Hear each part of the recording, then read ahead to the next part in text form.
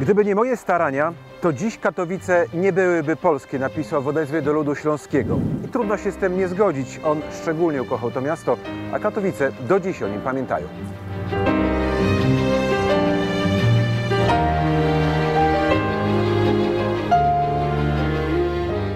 Wojciech Korfanty, bojownik o polskość śląska. Już w niemieckiej szkole był poddawany ostrej germanizacji i tamże, o ironio, narodził się jego płomienny polski patriotyzm. Urodził się w samym sercu Górnego Śląska. Pochodził z polskiej górniczej rodziny, ale język polski znał na tyle słabo, że jeszcze w czasach gimnazjalnych, kiedy czytał pana Tadeusza, musiał posługiwać się słownikiem niemiecko-polskim. Jego największym politycznym dziełem jest walka o polskość Śląska. W 1920 roku został komisarzem plebiscytowym.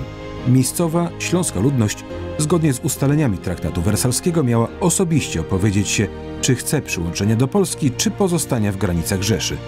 Niemcy, aby zyskać w referendum przewagę, uciekli się do oszustwa i sprowadzili ponad 180 tysięcy wyborców spoza regionu. Wobec tego faktu Korfanty ogłosił i stanął na czele trzeciego powstania śląskiego.